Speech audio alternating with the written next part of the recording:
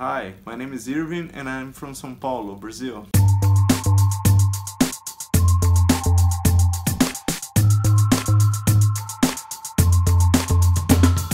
The activities, of course.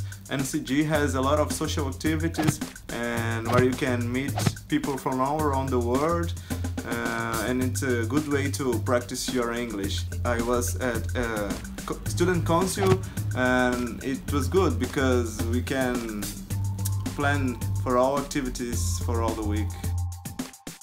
I used to eat at Sandwich Bar. It's good and cheap, uh, so you can find a sandwich for, uh, from two uh, pounds and 50 pence.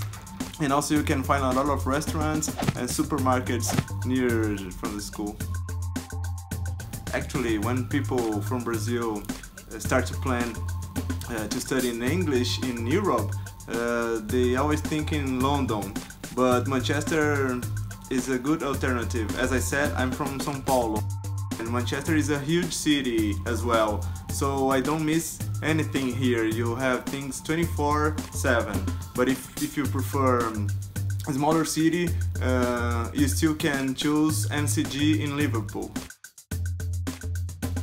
Another good thing about Manchester is that it has less Brazilians than other cities and other places. So you must push yourself to to learn English to to make your communication clear.